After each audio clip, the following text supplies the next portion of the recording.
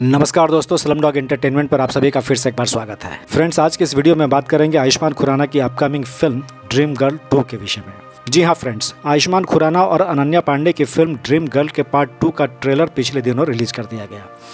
आयुष्मान फिर एक बार पूजा के किरदार में कहर ढाते नज़र आ रहे हैं और पार्ट टू की कहानी इस बार चुनौती भी डबल है। ट्रेलर वीडियो में दिखाया गया है कि आयुष्मान खुराना के पिता ने फिजूल खर्ची करके बहुत सा कर चढ़ा लिया है।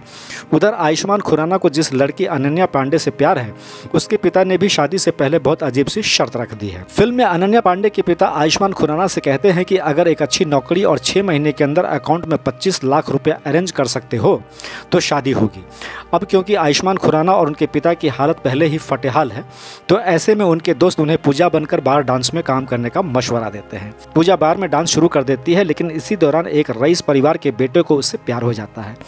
परिवार वाले शादी के लिए पचास लाख देने को तैयार होते हैं। तो ये कहानी की सबसे बड़ी ट्विस्ट है। परिवार के लोगों और गर्लफ्रेंड से डिस्कस करने के बाद आयुष्मान खुराना पूजा बनकर इस लड़के से शादी करने को तैयार हो जाते हैं।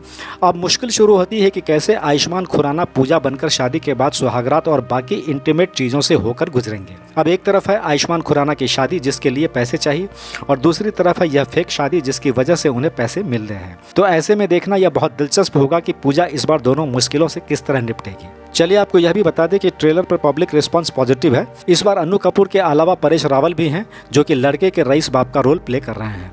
फ़िल्म 14 सितंबर को रिलीज़ होने जा रही है, यानी शाहरुख खान की जवान के रिलीज़ के सिर्फ़ एक हफ़्ते बाद। हालाँकि दोनों ही अलग जॉनर की फ़िल्में हैं, लेकिन फिर भी शाहरुख खान की जवान के बाद अपनी फ़िल्म रिलीज़ करने का खामियाजा आयुष्मान खुराना को भुगतना पड़ सकता है। ट्रेलर हालाँकि काफ़ी इंटरेस्टिंग है, फ़िल्म के रिलीज़ के बाद पब्लिक का रिस्पॉन्स कैसा रहेगा, यह देखना दिलचस्प होगा। तो फ्रेंड्स स्लम डॉग एंटरटेनमेंट के बॉलीवुड अपडेट में बस इतना ही। उम्मीद करता हूँ कि आपको यह अपडेट अच्छा लगा होगा, और अगर अच्छा लगा होगा तो लाइक, कमेंट, शेयर, सब्सक्राइब और फॉलो ज़रूर करें, और बने रहे हमारे साथ में बॉलीवुड अपडेट के लिए।